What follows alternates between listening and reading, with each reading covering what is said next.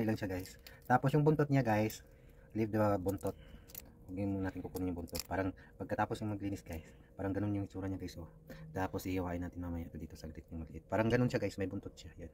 Yung buntot niya. Tira. Ito na yan guys. Tapos na yung hipo natin. Okay na siya guys, kinuha ko na siya. Mga ilang piraso lang, maliit lang guys. Tapos, meron tayong pang lagay natin yan guys, pang tops niya. Meron tayong carrots, potato, at saka maliit na atsal, onion, at saka garlic. Tapos meron gagamit din tayong kunting giniling na manok guys. Tapos of course yung ating garlic powder, onion powder, paminta, at saka yung red paprika natin. At saka itlog. Harina. Yun lang yung mga kailangan natin guys. So yung unang gagawin natin dito sa food processor natin guys. Lagay lang natin yung ating bawang.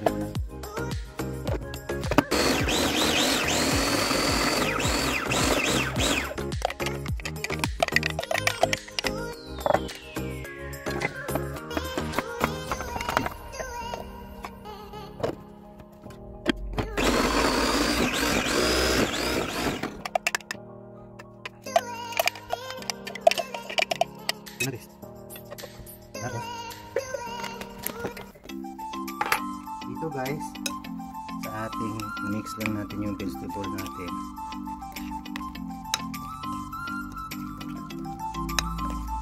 Lagyan natin ng sobrang konti yung isang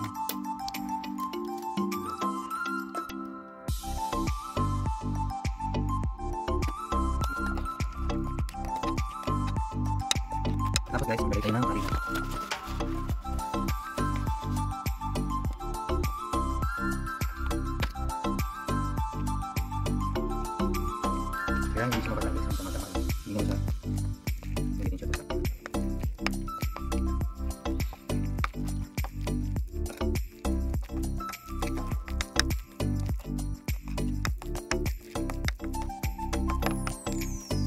Tapos, maglagay tayo ng onion powder.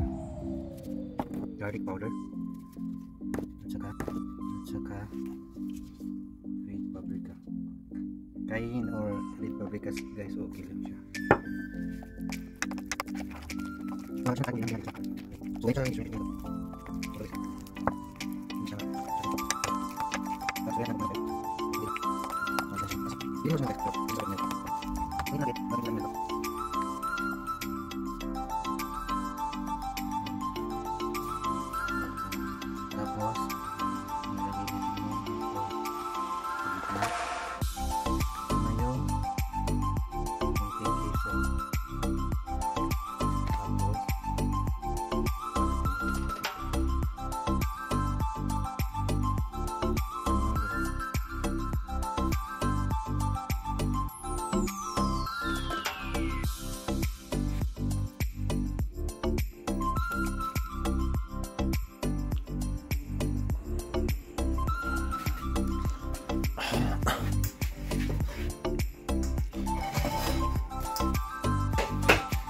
Mag-fry na tayo guys.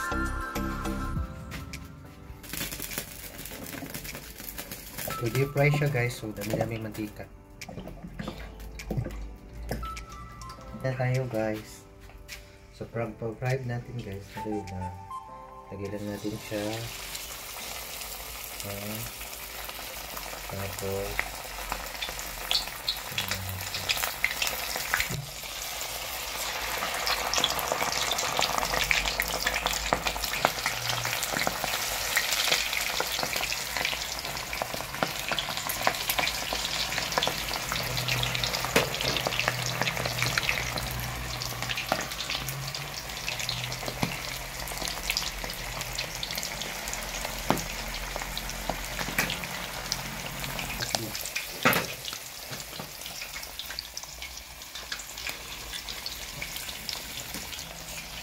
bone issues.